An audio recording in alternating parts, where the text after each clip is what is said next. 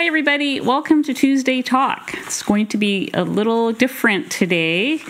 Uh, I am going to tell my personal weight loss story by popular request. I've had so many people asking for it. I've been meaning to do it for months. And for some reason, it's something that just always gets pushed to the back burner. Um, so I thought I'm going to do it, just going to get it done.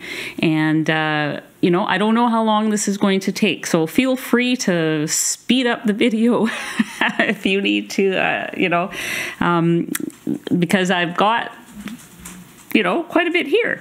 Uh, I took some I took some notes. Um, so before we get into that, though, I just want to welcome the new members that joined since the last time I gave a shout out to the new members. They will be up on the screen here. Thank you so much for joining my channel and giving me that support. In return, you guys get to ask me questions every week, and I answer them personally by video in the membership pro- or in the private members area. So uh, please do not hesitate to ask me questions because you have my attention. Um, so let's move on to my story. Uh, like I said, I've been getting many requests for it. Um, my journey with uh, obesity uh, is really all you can say about that because it's always been most of the time, most of the years of my life, it's been obesity versus even just being overweight, although there were some parts that were just not too bad. Um, but it's been a lifelong struggle. So uh, let's start. I'm going to show you a picture up here of what I think was around taken around my highest weight, which would have been 320 ish. And I say that because, you know, you get to a point where you just stop weighing yourself, you don't get on the scale anymore. And uh, yeah, so that's that's about worst case scenario, um, that image. Um, so as as a toddler and as a child, uh, I, I, was the chubby one of the family. I have uh, a sister who's one year younger than me. She was always skinny. I was always chubby. We grew up together with the same parents, eating the same food, and uh, somehow, you know, she's got that. She's got that metabolism that that burns through. E- even now, she's like skinny as a rail. She just burns through her calories, um, and uh, I just look at something and I and I gain weight. But I have to talk about my mom because she struggled with the very same thing. Um, she, you know, there was a time in her life when she was super thin, and, uh, you know, she gained a few pounds, went on a diet, all the pounds came back with more pounds. And, you know, she started that cycle just when I was starting to realize what a diet was and that even just being a few pounds more than your classmates when you're a young child, you feel different. And, uh, you know, it's uh, it's just the, the the way of the world. I mean, anything that makes you a little different from the other kids, that's the thing that you know your classmates focus on and and it, you know at least that was my experience back then. So as a young child i learned everything about dieting from my mother and her magazines. Now she uh, because she was an immigrant and english was not her first language she uh, her strategy was to buy all of the magazines and that's uh, a lot uh, how she learned to speak English and read English. She would just immerse herself in these, you know, North American magazines. And if you've, you know, know of these magazines from the 60s, uh, you will know that they sold, and they still do today. You know, what sells the magazines a lot, especially the women's magazines, are the diet headlines on the front. Lose 10 pounds in three days, lose 20 pounds this week. You still see them on the newsstands. Um, so she would buy them religiously. Uh, there would always be all kinds of them there. And that's where she learned how to diet, and that's where I learned how to diet. And so, you know, I'm just going to let you know a few of the things that I learned from those magazines. Um, many of these I did more than once grapefruit and egg diet, the military diet, the cabbage soup diet, uh, slim fast and slender fast, Ayds. Those were those little caramels. You'd get like a box of chocolates, and you ate two of those with black coffee, and you wouldn't be hungry for hours, so they said. My sister and I used to steal them out of the fridge because we just thought they were candy. Uh, Scarsdale diet the liquid protein diet. Did anyone do that? Oh, uh, Jenny Craig, Weight Loss Clinic, Diet Center. My mother uh, brought me to my first Weight Watchers meeting. I was 12, going on 13. I was the only kid there, and that in itself was a little humiliating. Um, but you know, it's uh, I, I actually enjoyed it after a while because I got a lot of encouragement from a lot of, of women that were there. And, um, you know, it was my first of many, many, many, many times going into a Weight Watchers meeting. So later, from one of these magazines, um, and I would say this was in the early 70s sometime, I learned, uh, you know, I learned about the Atkins diet. That was in there. Um, and, you know, that kind of may have been a, a, turning point because it was one of the few. All these other ones that I've mentioned, I did not last long on them, um, except for maybe Weight Watchers. Um, these other ones, I mean, I would usually throw in the towel on the first day, maybe the second day. Um, so it, I mean, they were all a struggle. Um, so the Weight Watchers diet in the seven, or sorry, so the Atkins diet in the seventies. It, it kind of was the first one that worked for more than a few weeks, um, and and I was able to lose weight but there was a real stigma attached to it. It was considered dangerous because you were eating eggs on the Weight Watchers diet, there was a warning in their little food plan do not eat more than four eggs per week. Uh, you couldn't have butter on Weight Watchers. Butter was a swear word. Um, so uh, there was a lot of things about the Atkins diet that that you know people would tell me and i would just sort of hide the fact that i was following it because i didn't want to have that conversation of how dangerous it was you know eating steak is dangerous eating butter eggs all those things. But i kept going back to that one um, because quite literally it was the only thing that I felt was sustainable for me. Um, and I had gotten to the point in at this time in the 70s where I truly thought something was wrong with me.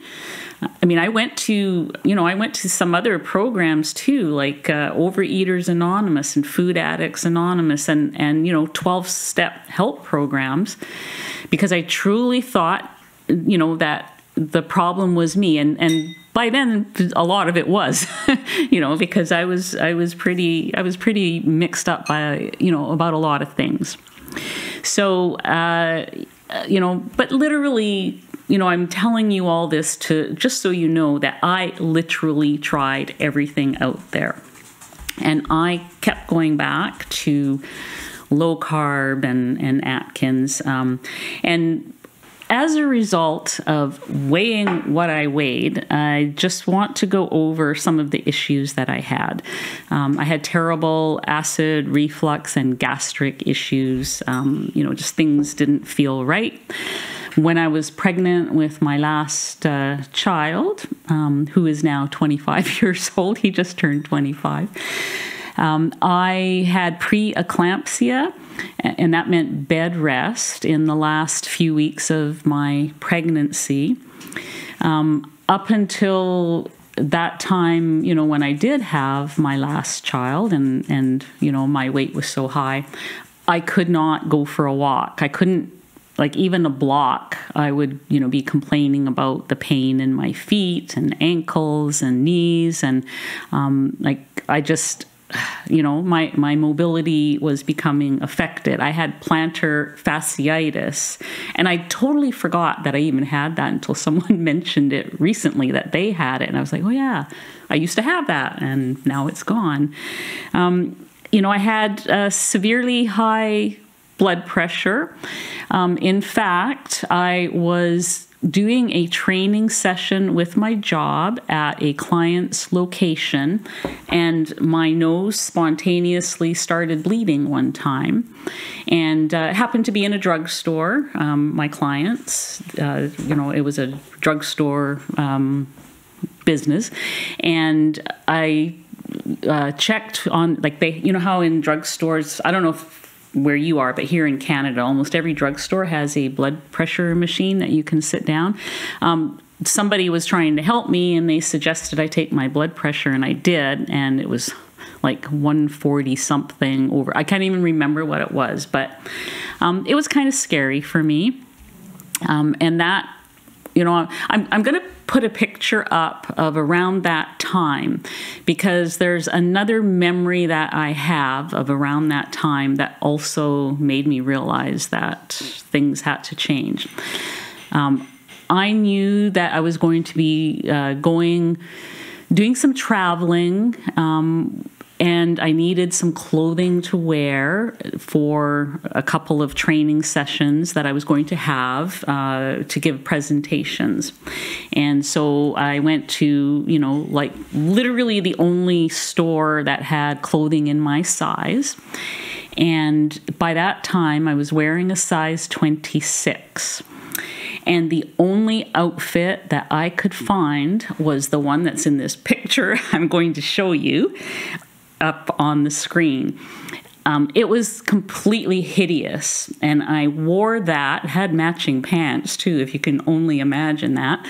Um, I wore that same outfit at every presentation that I did because it was literally the only thing I could find in my size that fit me. Um, and, uh, you know, that whole time was completely humiliating. And even even with all that it was like it was just so hard for me to not think that the problem was was me something terribly wrong with me in that I couldn't make the decision to change. And what I was about to find out and and just didn't even realize it was that yeah, I had some problems, um, but there was also problems with the information that I was given, um, and and that I was not given. So, I mean, all this time, I'm you know I'm going to the doctor regularly. At no time was I ever told a way to rectify these things, or that even these things were uh, life threatening or um, I, you know, I was heading down a road that was going to be probably diabetes, high blood pressure, um, you know, all those things that uh, you know can cause stroke and heart disease and everything else. Like I, I, I never knew any of that. I was completely uninformed about a proper human diet and what were the things I needed to do to get myself back on the right path or I never was on the right path, but somewhere on a on a path to you know healing these things. So one day I went for lunch uh, with a couple of friends, and I hadn't seen um, one of the women in a long time. We had just we had taken a course together. That's how we met. And she started to talk about her son, who had many epileptic seizures and she talked about how many seizures he had and the you know just the road that they had been on And it turns out that they were able to control his seizures through something called a ketogenic diet. That's that's when I first heard those like that particular word. And so then I started looking into it and I found out so many things. And I would say this is about 2012, just over 10 years ago. Um, you know, I found out about the Inuit people who thrived apparently on uh, whale blubber, seal blubber protein. I mean, they didn't have much of any vegetables at all. Um, I found out, uh, you know, so many things. Like I just started reading all these things. And it was around that time that I started trying to follow it. And, uh, you know, I started cooking different and trying not to be afraid of, you know, butter and bacon and eggs and steak and, and those sorts of things. I found out that there were people out there who were carnivores. Um, I found uh, even I, I, even found Kelly Hogan. I think she was in her first or second year. I just happened to Google and came across you know people who just ate meat. At that time, I wasn't ready for that. I, I you know just was so not ready to hear that that could potentially be my future. Um, but it you know, it got me it got me started. It, it got me back to looking at Atkins again because I kind of thought, well, it sounds like Atkins and it sounds like, you know, like it's you know what they all have in common is the the low carbs. So, anyways, that lunch uh, date uh, helped me to re look at low carb and keto or look at keto. I started Googling um, and, uh, you know, learned a lot of things. And, and I just basically, I just basically started, you know, cutting out the carbs. I didn't do anything special. I didn't, uh, you know, I didn't pay a lot of attention to macros. I didn't really know exactly what to do. I just I just knew that I needed to go back to something that looked like Atkins um, because that's what this sounded like to me. And so um, I just I just started changing gradually um, around that time, 2012 ish it was really in vogue to blog your experiences and journeys. And so I started a website thinking it was just going to be kind of like a journal or a diary. And I started uh, on that website, started sharing recipes that I was coming up with to lower my carbs. Now, I have to say, I was very dirty, lazy, low carb. Like i didn't i didn't know. There were so many things i didn't know. I just i thought it was per i thought that all that was required to be keto was to lower carbs you know? There like i didn't have a bigger picture. And uh and so you know sure i i made you know tons of mistakes. Uh you know i i ate foods that i wouldn't touch today. Um but I get, I get that that, you know, you, need to start with what you know. I mean, that's all you can do. We don't know what we don't know. And so I just, I just kept, you know, I was losing weight um, slowly and gradually. So I, you know, I just started sharing recipes. Um, people started coming to my website and I had, um, you know, uh, I, I like to cook and, and I just started cooking and sharing and, and doing that kind of thing. And, uh, you know, just losing weight. Um, I had. I had periods of time where I didn't lose weight. I had periods of time where I gained weight. Um, the year my dad died in 2017, I put back, I think, 30 or 40 pounds back on. And, uh, you know, it was an emotional time Mm, at the you know at the time that my dad passed away we i mean he we weren't really expecting it. It was expected because he had cancer but up until that point he had been very healthy and vibrant and you know climbing trees. I mean i remember when he was 80 he fell out of a tree fell off his ladder and broke some ribs and you know he just kept going after that. Like he was he was unstoppable and so when he was diagnosed with cancer, he went from being quite healthy and vibrant to an old man in a very short period of time. And so, you know, it was uh, it, it, it, was sudden, but but not sudden in, in a way. Um, and uh, at the same time, after he was gone, we realized that he was also keeping my mom in order.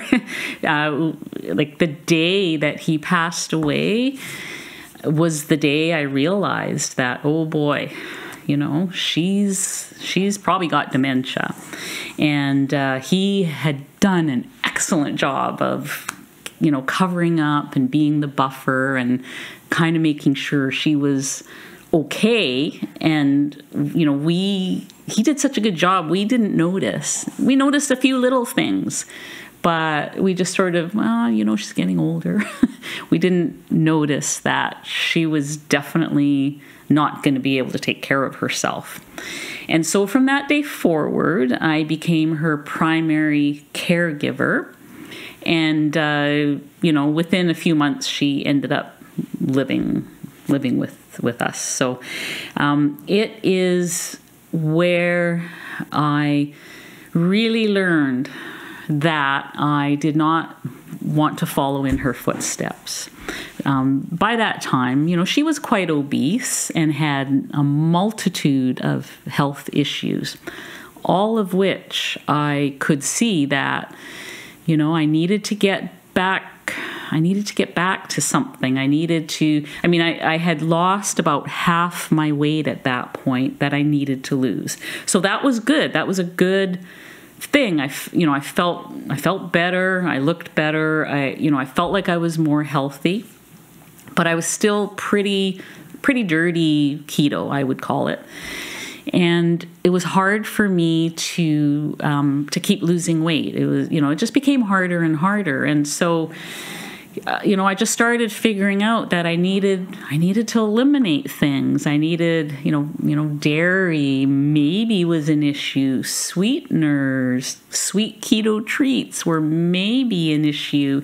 You know, I started realizing that you know, there was probably a cleaner way to eat. And also there was more and more information online, on YouTube, on blogs about food and about the finer points and the nuances of, of keto. And then I started seeing more things about, you know, people being carnivore.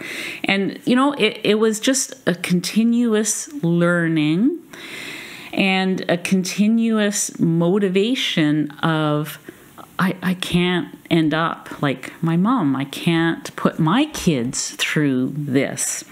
And and so all of those things um, you know kind of helped me to get to to a higher level i mean you know it takes what it takes sometimes and uh, you know at this point now i'm probably the closest i've i mean i haven't weighed this little and, and, and I still have 40, 50 pounds to go. But I haven't been this weight probably since I was a teenager. You know, this is I'm kind of at a at a lifetime lowish point, I think. And I still have I you know it, it it's not it's not easy. It's still a struggle and I've tried uh, many different ways. You know, I've I've I've done all the recommended things. You know, the intermittent fasting, close your window, eliminate sweeteners. You know, do carnivore. Uh, do carnivore more. You know, eat more meat. You're not eating enough meat, um, and and not seeing you know like the results are slow I, I, I'm, I'm getting results but it's like a snail's pace and and so you know i started on a journey of mixing things up and trying different things um, and uh, started the youtube channel during covid and, you know, I get a lot of positive feedback from women who are my age and, and, and men too. Thank you very much. Like, uh, you know, it's. Uh, I, I, am getting that feedback as well as I learned things from other people who are leaving comments. And you know it's it's almost you know it's it, it, it's like a almost like a two-way street in on some days where where I'm like yeah that was that person said this and maybe they're right. And maybe that is something else I can tweak or try. And you know I try to take it you know with that in mind um, as far as you know take, taking advice from people and there's some amazing influencers on on YouTube right now and on social media. I kind of suck at social media, so you know if you look for me on Instagram or some other places, I mean my posts are years old because I just uh, I just am not good at it. Um, but YouTube seems to be my place where I live the most. So thank you for those of you that are here watching this. Um, so I, I, I feel like what I am learning now, and, and I have to say, if you've stuck me with me this far, thank you for that you're still listening. But um, for the last few months, I I have been in Kelly Hogan's coaching group. I feel I have a soft spot for her because she was the very first carnivore I ever found. And I know she's come a long way since when I first found her, where she was early in her journey. And I thought she was kind of crazy for doing this.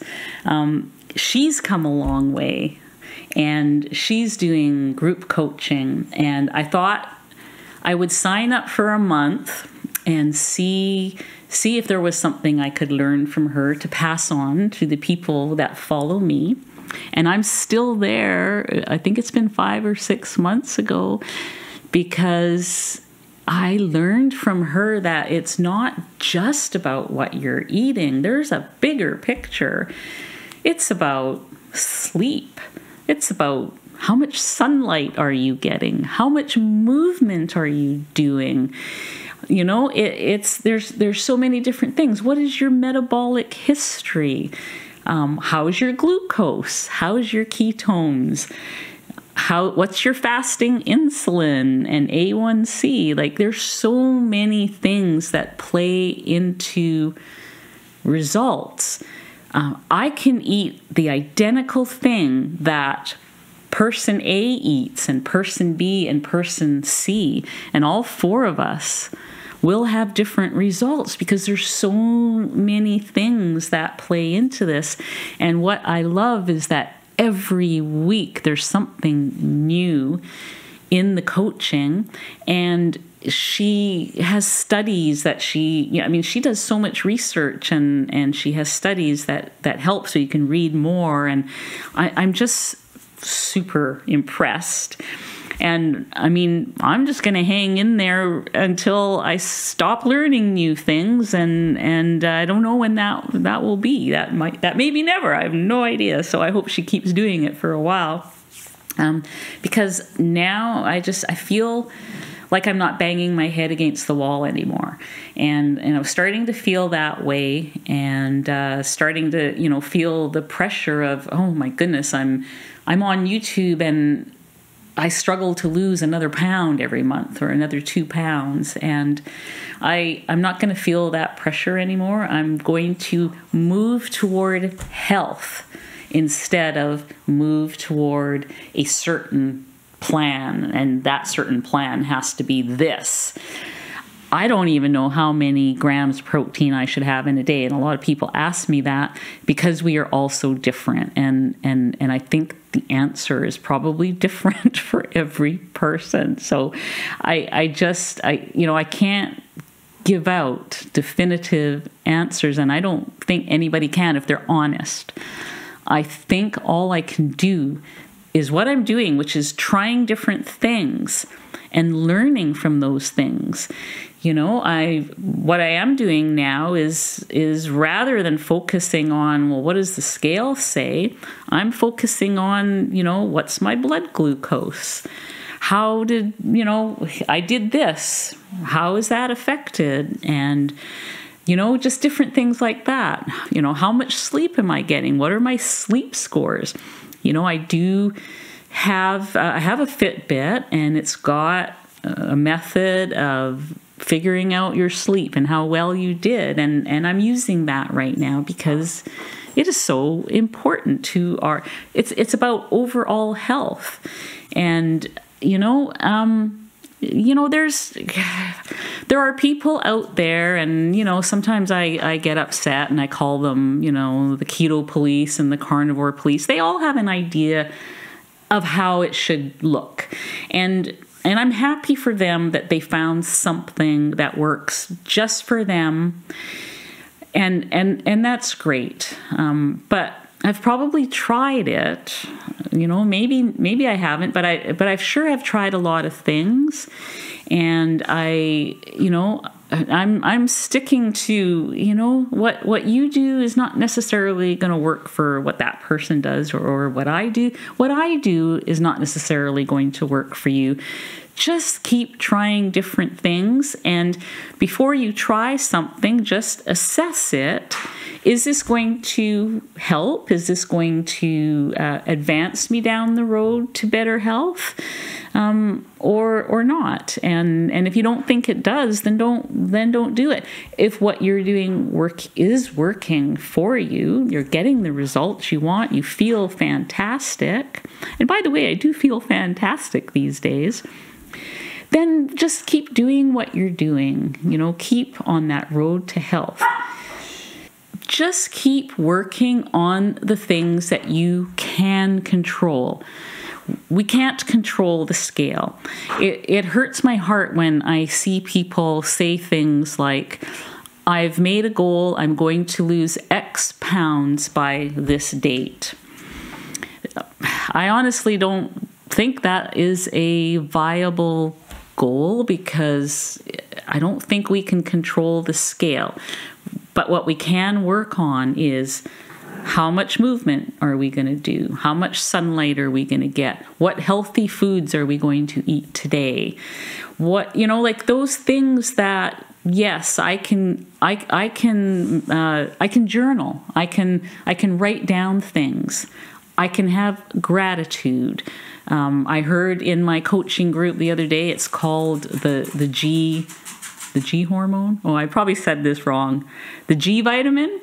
I don't know the G supplement. It, but the you know gratitude. Uh, you know, just a state of well being that comes from all these other things to put you in a good place. You know, getting more omega 3s. It doesn't have to be sardines. I, you know, I've had some flack over the sardines. Like, don't, it's okay. Just find find another way to get omega 3s. You know, though it, it's it's just it's a good thing. It's a good thing for for your overall health to get more omega 3s. Uh, I mean, it's uh, you know and and also you know to get protein and to get good healthy fats like work on the things that you are able to work on and set small attainable goals. Like um, i can set a goal to exercise three times this week and go for a daily walk. I can't say how much you know fat loss that will give me or weight loss. I can only do the activity. So i hope that makes some kind of sense that you know it's it's a different it's a different type of way to to look at at goals. Um, environment are like controlling our environment um, in most ways, you know, we we can do that. Um, we just we just can't control what happens on the scale. Like the bathroom scale is kind of a a useless thing, and it gets so many people derailed, and certainly has for me in the past. So I think I kind of want to wrap this up because I've been talking for quite a while, and I thank you if you've if you've made it this far. Um, if, if you're new or newer and you find this all very confusing, you don't know what to do, you don't know how to start, I, I would say the best thing to do is, you know, just start small, eliminate processed sugars and other carbs, and focus on foods that have one ingredient Foods that you can pick up in the grocery store, like a pound of ground beef. all it should have is ground beef. Um, you know, if you're eating vegetables, pick up the vegetable. there shouldn't be any other ingredients. If you can avoid the boxes and the packages and the snacks, those sorts of things. Um, I mean, I know some people, you know, need them when they're starting, and and I would never judge anybody for that because because I certainly I certainly did that in my early journey. Um, I wish I'd figured out what I know today sooner, but I didn't. And uh, you know, it, so just just start start with the simplest thing you can do.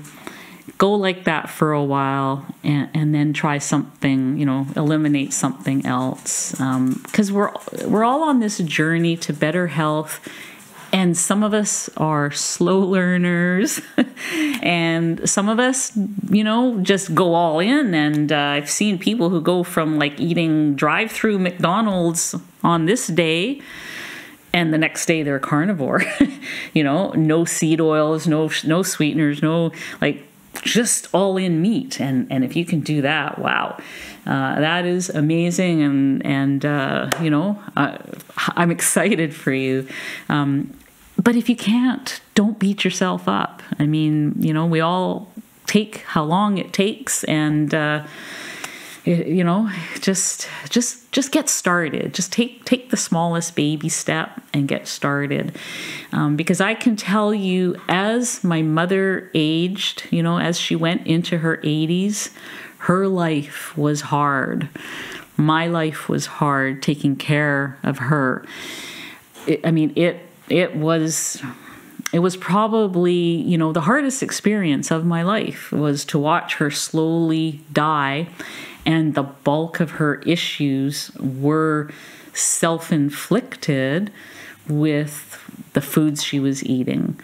And it it's sad to watch that when it's somebody in your family somebody that you love and are taken care of. And um, just you know it it is my why now. It is what drives me to keep going even when nothing seems to be working it still is good enough to remember my why to keep me on track. And you know i encourage you to also think about that and and why you want to do this why you need to do this. Get really specific and you know at some point you will be willing to do what it takes. And and when you're ready i'm i'm i'm there for you you know reach out. Um, so I, I i think i need to wrap it up because i could probably i could probably keep going. And i i know i want to respect your time. But thank you so much for listening. And thank you for watching and being with me because it really is helping me, you know, inch my way to that that final goal weight that I have. Um, I just, from the bottom of my heart, I'm glad you're here and thank you for everything. We'll see you guys next week.